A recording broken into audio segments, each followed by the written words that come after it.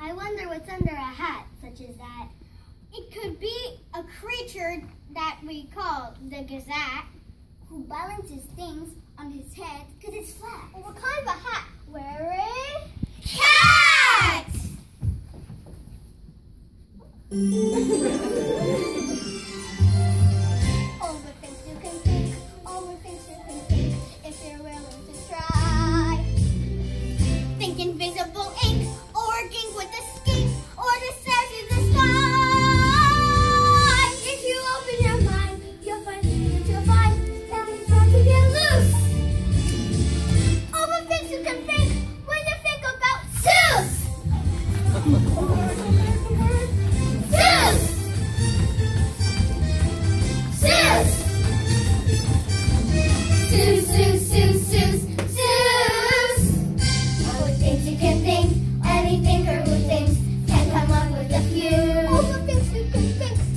a trip on a ship to the